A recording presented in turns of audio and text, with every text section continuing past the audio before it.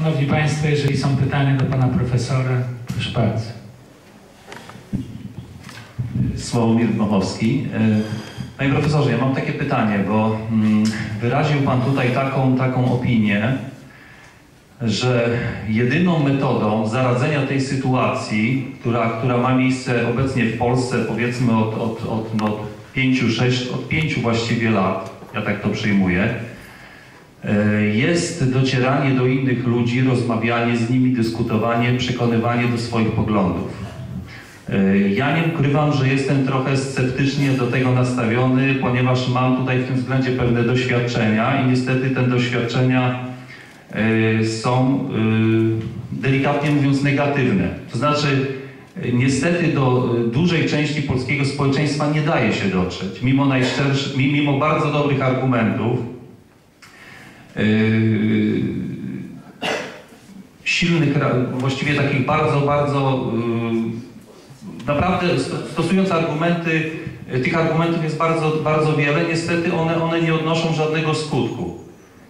Y, I teraz mam takie pytanie pierwsze, czy uważa Pan, że, że, że taka metoda, mm, taka metoda jest, jest metodą właściwą i skuteczną?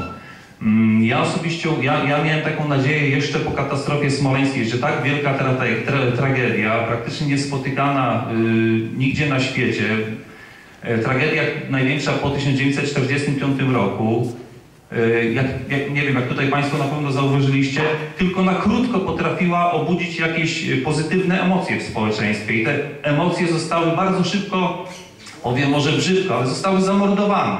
Ten taki, ten taki odruch naturalny, pozytywny społeczeństwa został po prostu zamordowany przez media i przez pewnych polityków. I teraz wie pan, ja się zastanawiam nad, nad, jeszcze na, zastanawiam się, co może, mo, może nastąpić takiego, też, też niejako jako socjolog, bo tutaj też y, trochę pokrewne wykształcenie mam.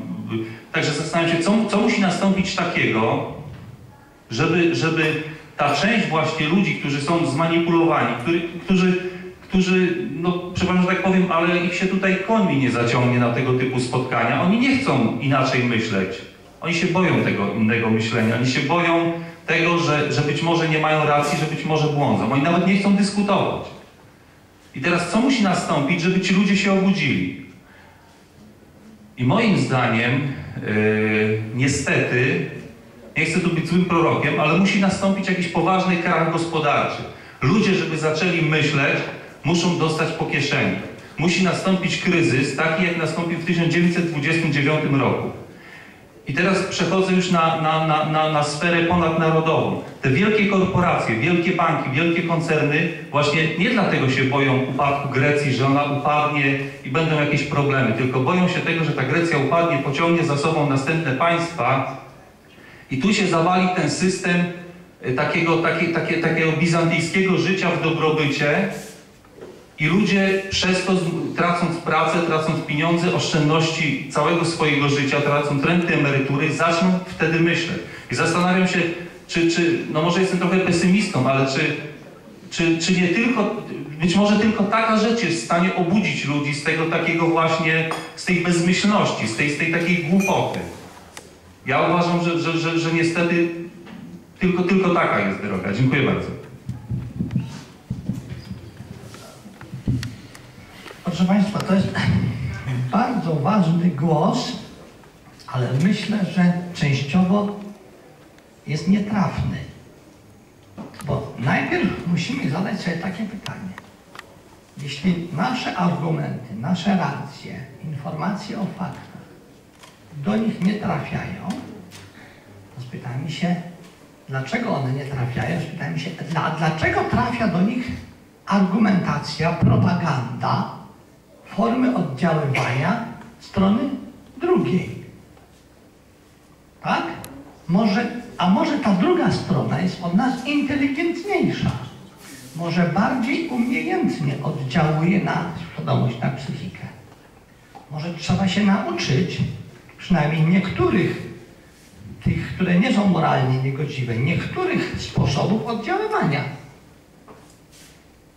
Jeśli młodzi ludzie dzisiaj często wiele godzin na dobę spędzają w internecie, to znaczy, że przekaz patriotyczny musi szukać nowoczesnych form i być obecny w internecie.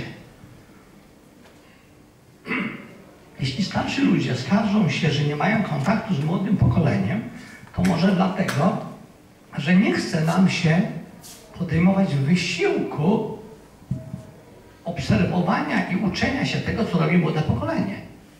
Ludziom młodego ludziom w moim wieku często nie chce się uczyć internetu, portali społecznościowych, Facebooków, naszych klas, gadu-gadu. Nie chce się w ogóle słuchać, jaką muzyką zajmują się, jakiej muzyki słuchają młodzi ludzie. Oni to słuchają na słuchawkach i rodzic może przez 10 lat nie wiedzieć, jaka muzyka fascynuje jego dziecko. A może jest tak, że zanim nauczymy się skutecznie przekazywać nasze argumenty, to musimy poznać ich argumenty. Czy w ogóle umiemy słuchać? Na wszystkich szkoleniach tak zwanej komunikacji interpersonalnej, na wszystkich kursach psychologicznego kontaktowania i oddziaływania uczy się, że najpierw trzeba nauczyć się słuchać. Czy my umiemy ich słuchać? Czy my z góry zakładamy, że oni mówią bzdury, że to są zdrajcy, że to są osoby zmanipulowane, których nie warto słuchać? To jest prosty mechanizm psychologiczny, który, który wie każdy chłopak, bardziej doświadczony, który podrywa, ma sukcesy w podrywaniu dziewczyn.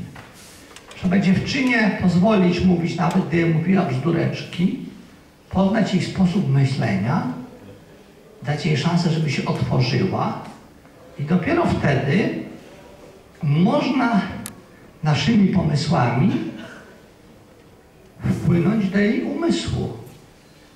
Dlaczego wiele gazet jest tak skutecznych? Dlaczego wiele portali jest tak skutecznych? Dlaczego analizujmy, dlaczego ludzie oglądają pewnego rodzaju programy telewizyjne? Dlaczego pewnego rodzaju postacie są idolami młodego pokolenia? Czy rozumiemy, jaki to jest mechanizm? Czy chciało nam się postudiować trochę, pouczyć, podyskutować, co się kryje za mechanizmem sukcesu pewnych osób? Nie tłumaczmy się, że oni mają media i oni mają pieniądze, bo do tego rzecz się nie sprowadza. Kiedyś strona prawa, prawicowa, niepodległościowa dostała do dyspozycji taki instrument jak telewizja Puls. I nie umiała, miała pieniądze, miała środki, miała częstotliwości i nie umiała zrobić z tego inteligentnej formy przekazu. Zabrakło umiejętności i zdolności do gry drużynowej. Umiejętności powstrzymania swoich osobistych ambicji i grania pracy w zespole. Ale oczywiście te ważne kwestie, o których Pan mówił, nie wyczerpują się do tego, co, co powiedziałem, proszę Państwa. Otóż nie potrafimy ich przyprowadzić na takie spotkanie, jakie się dzieją w klubach Gazety Polskiej. Nie potrafimy, bo by się czuli pewno tu niepewnie. Czuliby się jak w obcym kraju, jak w obozie wroga. A może trzeba stosować takie metody, jakie mają opanowani ludzie w kościołach protestanckich, którzy prowadzą pracę misyjną otworzenie się na drugiego człowieka i najpierw dowartościowanie go, żeby mi poczucie niepewności u niego zmniejszyć. Człowiek, który nie czuje się zagrożony, staje się partnerem do rozmowy. A ponieważ my bardzo często, jako środowiska pisowsko-niepodległościowo-patriotyczne, czujemy się zagrożeni, czujemy się pogardzani, tępieni, czasami obrażani, to odpowiadamy piękne zaradobne. Ale inteligentniejsze byłoby ugiąć się na jakiś czas jak trzcina na wietrze i kiedy wiatr, wiatr minie, wyprostować się. Ale nie od razu uparcie. Nie można ludzi przekonać, mówiąc mu szczerze, co się myśli. Panie, pan jesteś idiotą, pan nie czytasz Gazety Polskiej, pan nie widziałeś żadnej audycji w telewizji. Trwa, pana punkt widzenia jest kosmopolityczny. Nikt komu się prosto w twarz powie takie rzeczy, nawet jeśli byłyby uzasadnione, a nie zawsze są. Nikt nie będzie gotowy do rzeczowej rozmowy. Trzeba mu powiedzieć coś w tym stylu. W dużej mierze masz rację, ale jakiś, ale spójrz, może jest jeszcze taki oto aspekt sprawy. Nie umiemy takiego łagodnego, krok po kroku dyskutowania. Pana rozumowanie, że bez poważnego kryzysu ekonomicznego prawdopodobnie nie nastąpi zwrot w myśleniu społeczeństwa. I ludzie nie odczują w swoich portfelach, że coś idzie ku niedobremu, to nie zaczną przebudowywać, zmieniać swojej perspektywy politycznej. To może być słuszne, ale ta nadzieja może się okazać złudna. Dlaczego? Bo gdy nastąpiłby taki wstrząs ekonomiczny, to natychmiast pojawią się populiści, którzy za pomocą sprymitywizowanych form myślenia, którą próbują tych ludzi przejąć. Jeśli do tego czasu my nie będziemy wykonywali swojej pracy organicznej, dotleniania tkanki społecznej, to ryzyko przechwycenia tych ludzi przez populistów w stylu Lepera czy Lepera bis, czyli Palikota, będzie bardzo duże. A więc oczywiście należy być gotowym w sensie politycznym do zagospodarowania rozgoryczonych polityką Platformy, jeśli się tacy pojawi. Co się dzieje, kiedy ktoś wykazuje jakieś talenty w jakiejś sprawie albo więcej energii, sprawniej to się organizuje, lepiej robi niż inni. Chcemy go poprzeć, żeby dalej poszedł do przodu i pociągnął nas wszystkich do przodu, czy chwytamy go za nogi, żeby tylko nie wyniósł się. To się wiąże z naszymi słabościami na, na dwóch poziomach. Ci, którzy mają mniej potencjału, często zazdroszczą tym, którzy mają więcej, ale ci, którzy odrobinę wyrośli nad innych, nie pamiętają, że jeśli chcieliby naprawdę pójść do przodu i pociągnąć wszystkich, to nie mogą się wywyższać. Muszą bardzo pokornie traktować. Proszę Państwa, skąd się biorą wielkie firmy, wielkie fortuny i wielkie partie? One się biorą z ciężkiej pracy, która znikąd tworzy pewne zasoby. Jak się analizuje kariery wielkich miliarderów czy oligarchów, to część z nich nie odziedziczyła żadnych fortun. Część z nich własną pomysłowością i sprytem jest zbudowała.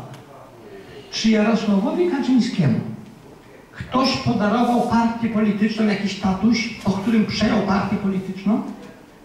Czy Jarosław Kaczyński odziedziczył majątek, dzięki któremu mógł zbudować tą partię polityczną? To, że PiS jest największą partią opozycyjną, że miliony ludzi na nią głosuje, że partia ta pozyskuje środki z budżetu i wspiera wiele inicjatyw niepodległościowych, wiele projektów intelektualnych i artystycznych. Czy to jest dar z nieba, czy ciężka praca środowiska, które prezes potrafi wokół siebie zgromadzić? Nie jest najprzystojniejszy, nie jest najwyższy, może nawet nie jest najbardziej inteligentny, ale jest dostatecznie inteligentny, żeby mając polskie silne serce, niezłomnie, mimo wszystkich ciosów, które na niego spadły, nie poddać się i iść do przodu. Proszę Państwa, musimy po pierwsze, jak widzimy w naszym środowisku kogoś, kto ma potencjał lidera, starać się tylko jedna, żeby on pracował ku dobrym sprawom, pomagać mu przy jego błędach, wzmacniać go. A jeśli ktoś z nas już poczuje ten potencjał lidera, to niech się nad ludzi nie wynosi, bo jak się na nich, jak się to prędko spadnie. Tylko ciągnąc innych w górę ze sobą, może rosnąć, tworzyć wielkie projekty. Nie wiem, czy całkiem odpowiadam na Pana pytanie, bo to sprawa ma jeszcze jeden element. Jak w środowiskach niepodległościowych wyrastają jakieś autorytety, to oczywiście one są, próby są przynajmniej podejmowane, niszczone przez inne środowiska. Dlaczego na przykład ojciec Tadeusz Rydzyk jest tak zawzięcie od lat, od lat tępiony, niszczony? Dlaczego się uruchamia rozmaite szykany wszystkim? Dlaczego? Bo jest mało osób, które potrafią jednocześnie być sprawne w dwóch ważnych wymiarach. W wymiarze wartości, tradycji i w wymiarze organizacyjnym, organizacyjnym zbudować tyle działających instytucji. Wyższa Szkoła Kultury Medialnej i Społecznej. Wspaniałe akademiki. Piękna aula wykładowa, stołówka. Bywałem tam na konferencjach. Choć nigdy w tej szkole nie wykładałem. Radio, które dociera cały świat. Telewizja. To pewno nie jedna z osób tutaj obecnych przekazywała datki na ten projekt. Tak? A te pieniądze nie zostały zmarnowane. Nie, nie, jest, nie wierzcie bzdury, że ojciec Tadeusz jeździ jakimś Maybachem.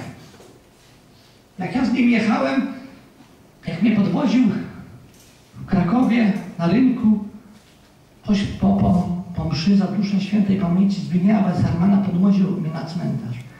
Jechałem z nim i z czterema innymi zakonnikami w samochodzie Audi A6. Pięć osób, było nam ciasno, ale byliśmy zadowoleni, bo mamy podobne wartości.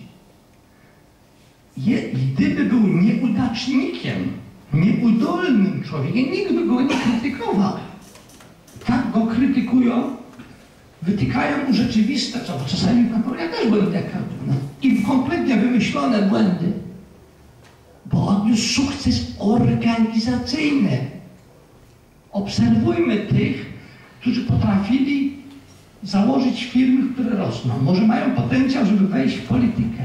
Obserwujmy tych, którzy mają jakiś talent artystyczny, który nie jest jakąś głupią perwersją, żeby być oryginalnym dla oryginalności, tylko wyrażają jakieś ważne sprawy ludzkie. Jeśli takie autorytety widzimy, to cieszmy się, że znamy ludzi o jakichś talentach i wspierajmy ich. Bo, proszę Państwa, jest taka okrutna teza. Każdy naród ma taki rząd, na jaki zasługuje. To jest teza okrutna, ale na dłuższą skalę ona jest prawdziwa. Kiepskimi ludźmi no kiepscy przywódcy. Z kiepskiej gleby nie wzrastają silne rośliny. Przywódcy biorą się z elit, a elity biorą się z narodu. Jeśli naród jest słaby i nie potrafi hodować, wzmacniać elit swoich własnych, to elity cudze albo elity własne swoje, które go zdradziły, będą nim rządziły. I to Polsce grozi. Panie profesorze, z tego co Pan mówi, bardzo wiele słów do mnie autentycznie dotarło.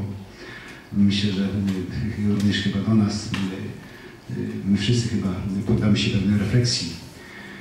To, co Pan mówi, to jest wszystko bardzo ważne, żeby Polska była innym krajem, mam nadzieję, za niedługo. A ja mam jedno takie pytanie, być może że bardzo krótkie.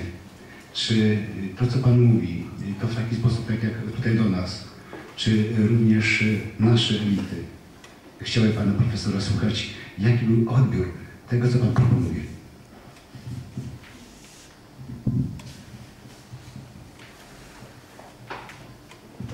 Jeśli Pan przez nasze elity rozumie braci Kaczyńskich, no to odpowiedź jest znana.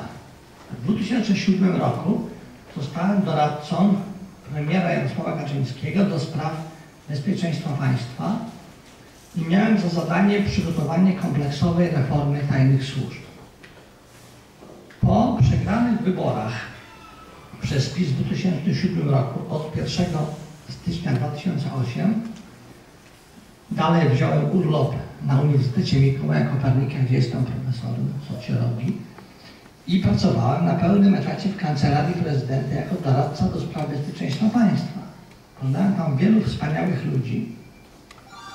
Niektórzy niestety zginęli pod Smoleńskiem, ale wielu wspaniałych ludzi jeszcze jest. I to, że mnie zatrudniano, a przedtem jeszcze, zanim zacząłem pracować dla premiera Kaczyńskiego, byłem nieodpłatnie, tylko za zwrot kosztów podróży i noclegi, doradcą ministra Macierewicza, który kierował wtedy Komisją Weryfikacyjną Wojskowych Służb Informacyjnych, a więc to są odpowiedzi, czy chciano korzystać z moich podpowiedzi, z moich diagnoz. To jest odpowiedź na to pytanie. Profesorzy, szanowni Państwo, nie tak dawno uczestniczyłem w jednym z zadań wiejskich w naszej gminie i po prostu uważam, że po tym zebraniu, że był zbudowany postawą tych ludzi, sposobem myślenia, dbałość o wspólne dobro. Nikt tam nie walczył o coś dla siebie. Myślałem o wielu sprawach, które dotyczyły całej tej miejscowości. No ale tam jest takie szczęście, że jest Pan dobry lider. I to, co Pan właśnie mówi, jest te właściwe relacje. Z jednej strony lider, który zajmuje się sprawami tej miejscowości ludźmi, a z drugiej strony ludzie, którzy jemu ufają. W ostatnim czasie odbyłem wiele, wiele podróży po naszym województwie. Odbyłem kilkaset rozmów, a może razy kilka po te kilkaset. Rozmawiałem z wieloma ludźmi z różnych środowisk, przypadkowymi ludźmi na ulicy, bezrobotnymi, można powiedzieć pijaczkami, sprzedawcami sklepowymi, pracownikami, rolnikami, ale rozmawiałem też z wieloma kapłanami. I trzeba powiedzieć, że mówię z całą odpowiedzialnością, jest to sól naszej ziemi. Abstrahuję od spraw duchowych, religijnych, bo nie mam w tej materii żadnych ani takiej wyjątkowej wiedzy, ani prawa. Natomiast jeżeli chodzi o sprawy polskie, jeżeli chodzi o znajomość zagadnień lokalnych, nikt tak jak oni się nie zna. Z drugiej strony jest jak gdyby zepchnięcie tych ludzi, zaszczucie. Do kruchty nie wolno, nie wolno, nie wolno. To jest potencjał niesamowity, która Polska traci. To jest e, coś takiego, no, to jest pewien fenomen, bo to jest, no przecież, no, kapłani, silna grupa związana z węzły organizacyjne, ale przecież to są obywatele, tacy sami jak my. Przede wszystkim powinni, a nawet mają obowiązek służyć swoją wiedzą, doświadczeniem. I jaka potężna machina, która za czasów nawet komuny nie była w stanie ich złamać. Powoduje to, że no, nie wszyscy, ale wielu spośród nich jak gdyby izoluje się, obawia się o, o pewne reakcje i tak dalej. Kolejny temat. Uczestniczyłem w jednej z mszy przypadkowo, bo przejeżdżam. Odbywa się msza, ja musiałem na kogoś poczekać. Nie będę stał na ulicy, wszedłem do do, w trakcie ta, do tej, na tą mszę. 12 osób, miejscowość 130 parę. Mała miejscowość popegerowska, ludzie niezwykle biedni. I tutaj rola właśnie też Kościoła. Jak gdyby w tym wszystkim utrzymania pewnego jądra, gdzie większość ludzi straciła nadzieję we wszystko i we wszystkim. Kiedy jest po prostu potworna bieda. To takie rzucam pewne obrazy, jak gdyby na tle tego, co Pan Profesor mówił, ale no warto do tego wszystkiego wrócić, jakoś dotrzeć do ludzi i porozmawiać. I też całkowicie popieram Pańską tezę, że ten wielki strach, ten krzyk, ta agresja ze strony często naszych przyjaciół, kolegów, znajomych, no i wynika z tego, że te ich poglądy, to naprawdę nie są poglądy, to jest coś im wklepano do głowy i oni się obawiają, że w pewnym momencie ktoś z nimi serdecznie porozmawia i runie ich świat. Byłem w Baszkowicach, zaskoczony. Przechodzi rodzina rolników. Uśmiecham się, podchodzę z ulotką, witam się z tym panem. On nie wierzy, że jestem z PiSu. Bo tak propaganda mówiła, że ten co z PiSu to musi mieć zęby od razu warczyć, rzucać się do gardła i tak. Więc widzimy to, co się w Polsce stało i rzeczywiście. Czasami się chce odpowiadać na cios ciosem, ale może jedynym wyjściem to wielka cierpliwość, wielka praca, wielkie pochylenie się i okazanie tym ludziom, którzy tak w zasadzie są ludźmi bardzo nieszczęśliwymi, bo ci, którzy poszli głosować na Platformę 4 lata z policy, większość z nich w tej chwili już bardzo szkoduje, to są ludzie nieszczęśliwi, ja nawet nie wymawiam niektórym, czemu ty głosowali, bo już tak się złożyło, że los niektórych pokarał. Żadna satysfakcja. Teraz chcę wyciągnąć wnioski dalej pracować, żeby zmienić to Polskę na lepsze. Dziękuję. Proszę Państwa, to jest bardzo ważny głos, kilka ważnych rzeczy. Pomyślałem, że tak paradoksalnie z tymi zwolennikami Platformy i z tym ich pokaraniem to może być tak, że niektórzy nie mogą pomyśleć tak. Głosowaliśmy 4 lata temu za Platformą, źle zrobiliśmy. No to teraz musimy odpokutować. To jeszcze raz zagłosujemy za Platformą.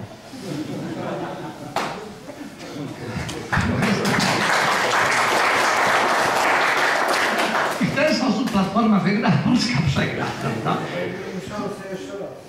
Proszę Państwa, y, wiele osób widzi to podobieństwo. Wczoraj spotkanie w Goleniowie było na salce katechetycznej w wielu miejscowościach.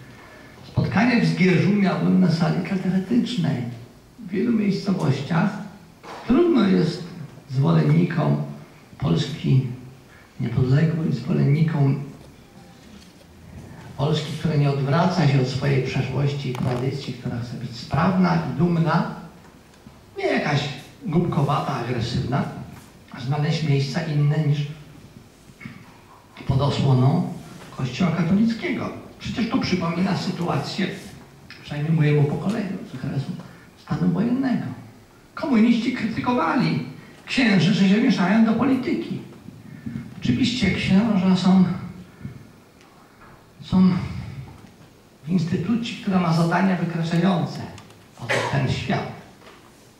Ale jeśli jakaś część narodu nie znajduje innych miejsc do swobodnej rozmowy, do dyskusji, to powinno dać do myślenia tym innym. A oni wolą atakować, szczuć, zniechęcać, zakazywać, inspirować, żeby nie potrafili robić pewnych rzeczy. Zgadzam się, że jest duży potencjał w polskim kościele, ale w ogóle w polskim społeczeństwie jest duży, marnowany potencjał. Bo każdy Polak, który boi się publicznie ujawnić swoich poglądów, nieważne teraz, czy są poglądy za platformą, zapisem czy nie, to żyje w niezdrowym społeczeństwie, tym swoim lękiem podtrzymuje niezdrowe społeczeństwo. Pan bardzo ładnie mówił, czy gdy ludzie widzą, że ktoś popiera PiS, jest schludnie ubrany, umie kulturalnie się wypowiedzieć, bez agresji, są zaskoczeni. Wejdźcie na stronę platforma.org. Zobaczycie tam wideo. Wideo.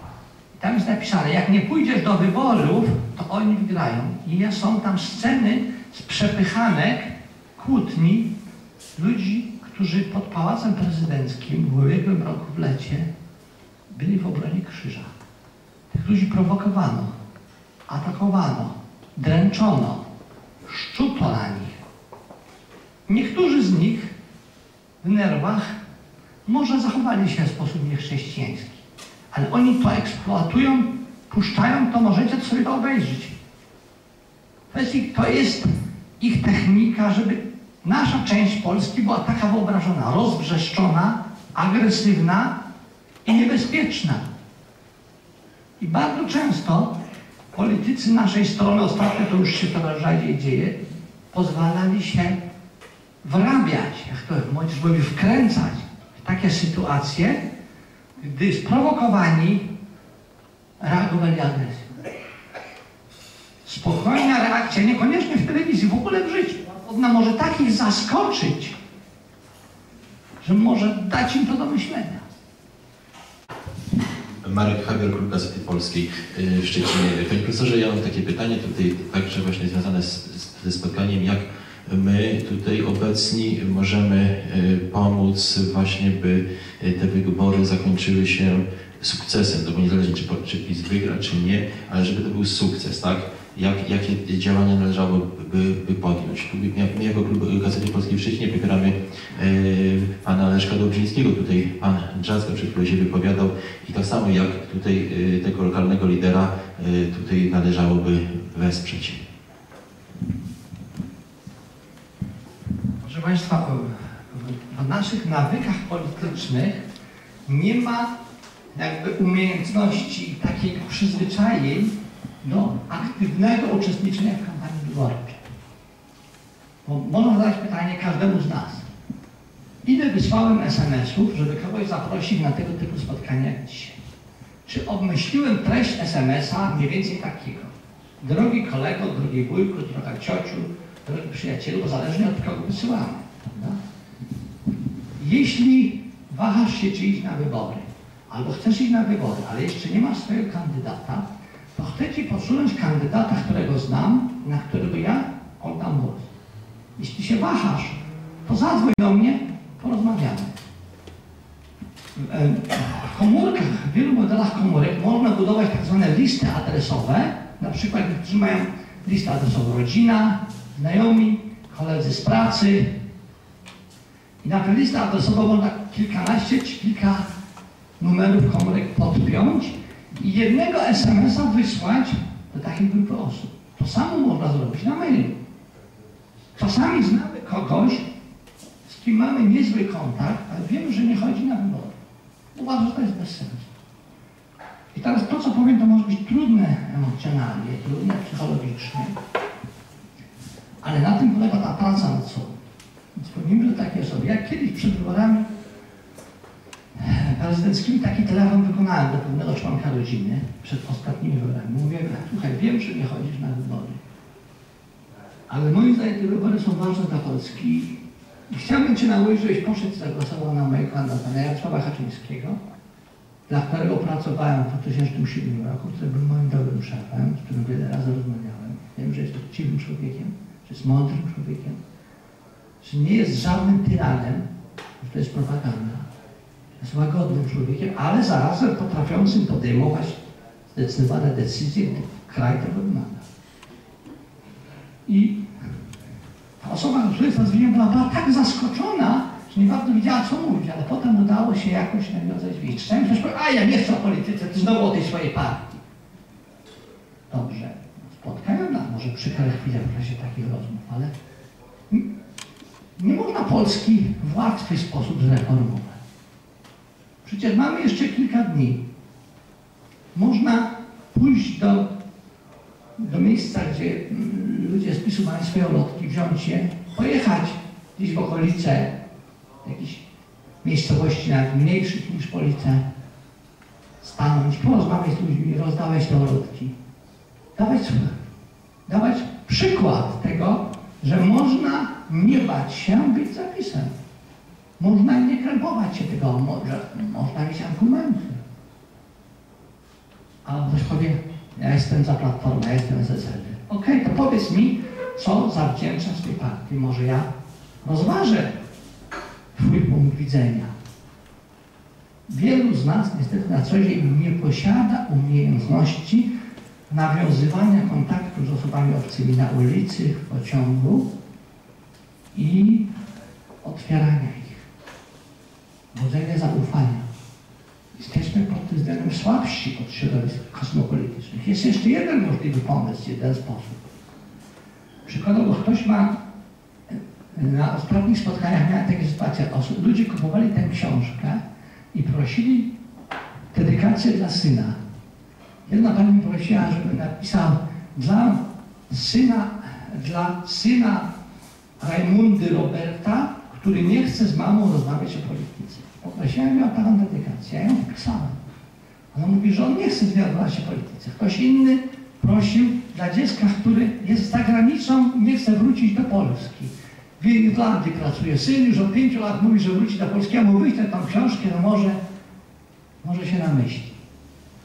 Może być też tak, że ktoś z Was ma zapomnianego krewnego w Ameryce albo w Australii. Można mu tą książkę z dedykacją wysłać jako prezent na urodziny, żeby odbudować więź. To ta książka to jest próba rozmowy o Polsce. Jej tytuł, podwójny tytuł, Pociąg do Polski, sam jest podwójny. Po pierwsze, ci, którzy czują w sobie jakieś elementy patriotyzmu,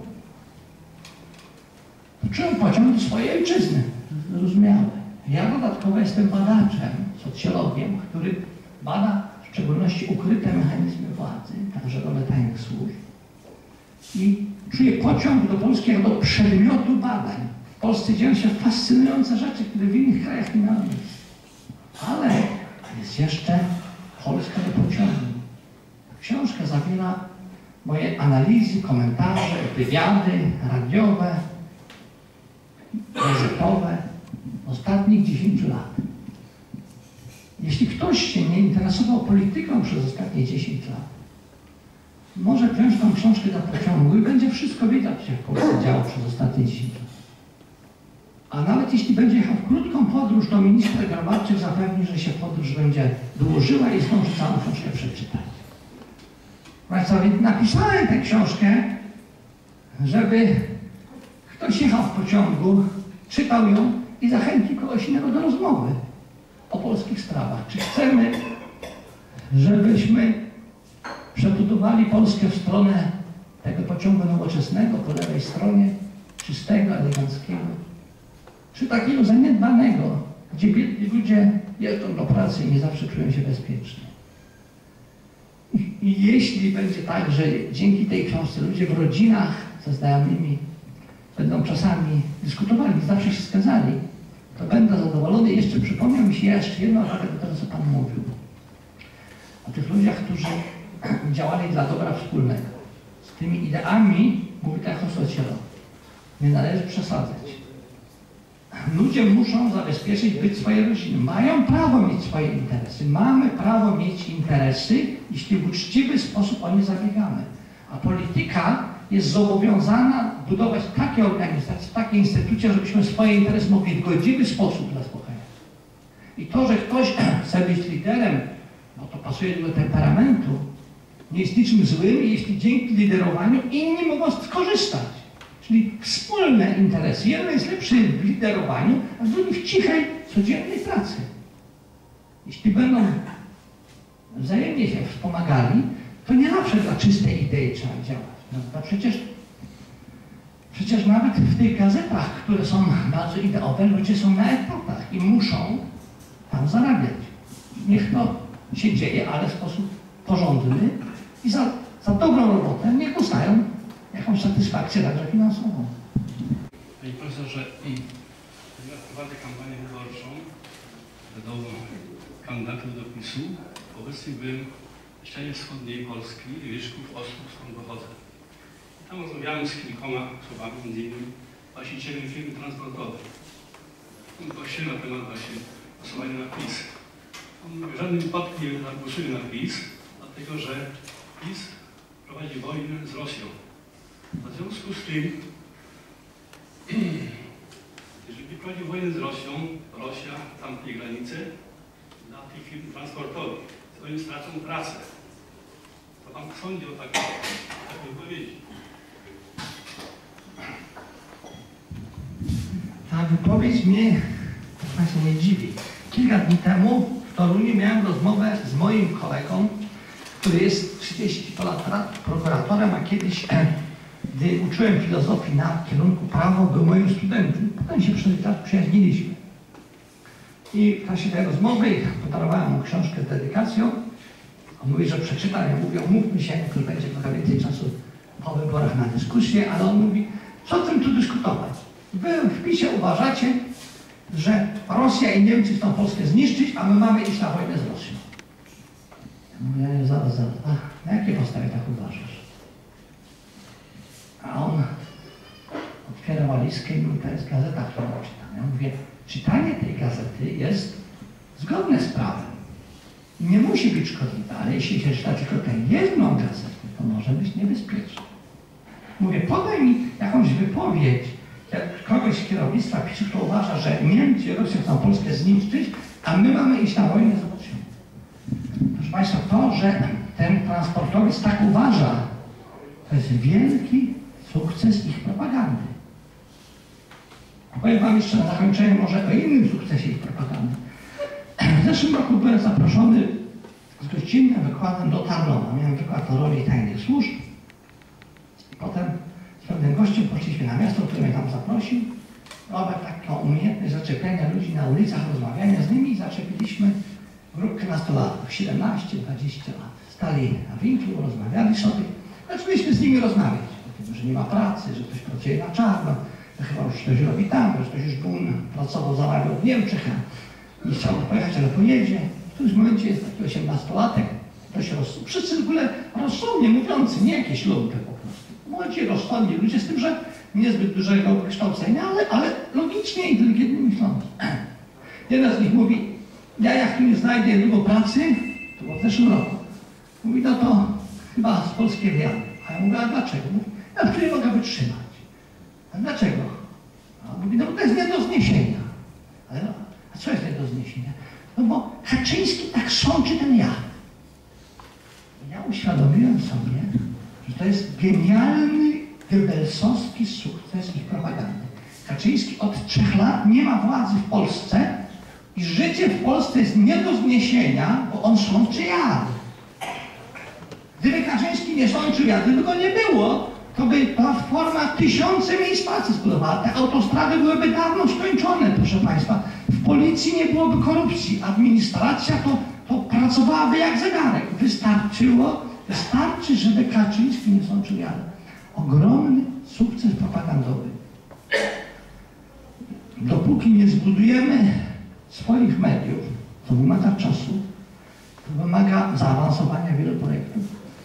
Tylko oddolną, cichą rozmową musimy powiedzieć. Gdzie przeczytałeś, że Kaczyński chce iść na wojnę?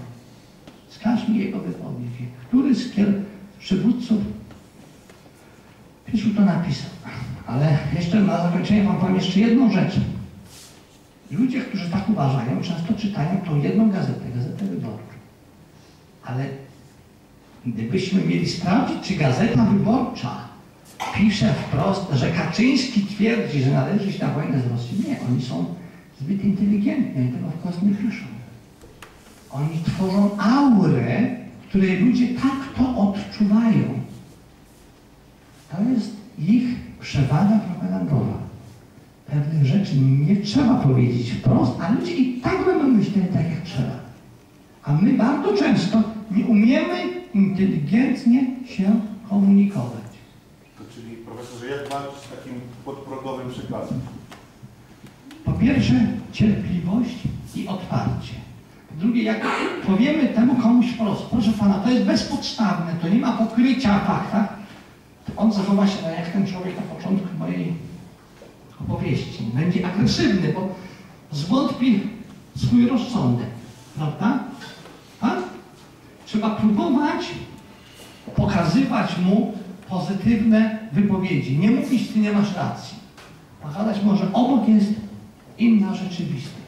Nie liczyć na to, że on w czasie tej jednej rozmowy zmieni zdanie. Tylko zasiać. Zasiać ziarno. Większość ludzi, nawet jeśli nie są wykształceni, mają doświadczenie, to mają swój rozum. Dają sobie radę w swoich zawodach, w swoich miastach, miasteczkach, rodzinach. Jak zasiejemy ziarno, to ich głowy powolutku będą pozwalały tego ziarnu kiełkować. Ale nie możemy frontalnie atakować. Nie możemy wprost mówić. Musimy po prostu, jak pokażemy, dam wam przykład. Jak czytam nieraz wypowiedzi w internecie przeciwników PiSu, oni mówią, ja nie mogę czytać tego portalu niezależna.pl czy Gazety Polskiej. Zestrzelony samolot, komorowski, komoruszki, y, zdrajcy. Ja nie mogę tego wszystkiego czytać. Ten język jest dla wielu ludzi za mocny. Oni go nie trawią, nie przyswajają. To jest szokujący język. Jak nie nauczymy się łagodnych form komunikacji, to nie damy rady sobie z tym. Ja musiałbym się bliżej zastanowić, pozwolić dłużej temu transportowcowi opowiadać, dlaczego on tak sądzi, ale popatrzmy, to co mówi jest racjonalne. On żyje z tego, że jego samochody, jego firmy jeżdżą na wschód, zarabiają. Jeśli my byśmy jako Polska postawili sprawę na ostru noża, no to jego biznes jest zagrożony. Tak? No więc, tak? No więc w tym przypadku PiS w tym regionie powinien rozmawiać z transportowcami, przedstawiać rzeczywiste sytuacje, pokazywać, że jeśli będziemy mądrze grali w Unii, to Rosja nie będzie dźwigni na nas samych stosowała, tylko musiałaby zadzierać z całą Unią i że jej się to nie opłaci. No ale jeśli nie będziemy mieli przywódców, którzy potrafią w Unii zabiegać o nasze interesy, to i zaraz się nie damy. No ale to wymaga wszystko, wymaga wszystko czasu. I z dnia na dzień nie można tego zrobić. Ale trzeba unikać wchodzenia w taką zdecydowaną, otwartą konfrontację. Ona prawie nigdy nie przynosi sukcesu.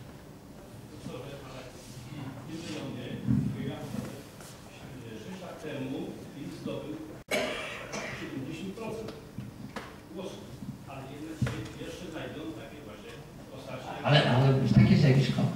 E, Moi współpracownicy niedawno robili badania w rejonie Białej Podlaskiej. I na przykład w niektórych okręgach PiS miał 45% głosów. A w badaniach pytaliśmy im ludzi na próbie reprezentatywnej, czyli takiej wiarygodnej, na kogo głosowali tam. I przyznawało się 33%. To znaczy, że ludzie bali się ujawnić badaczom, bo nie wiedzieli, badacze bo badacze muszą działać obiektywnie, tak? Nie mówią, na kogo pracują, z kim są związani, robią badania fachowe. Część ludzi jakby wypiera się, a te badania były robione parę miesięcy temu, w ostatnich tygodniach się sytuacja poprawiła. Część ludzi wypierało się, nie miało odwagi powiedzieć taką osobę. Dlaczego nie miało odwagi? Bo my w sytuacjach publicznych często nie mamy odwagi. Bo jeden odważny dodaje odwagi dziesięciu innym. Czasami jak zabraknie tego jednego, to wszyscy spuszczają głowę. Bardzo Państwu dziękuję za przybycie.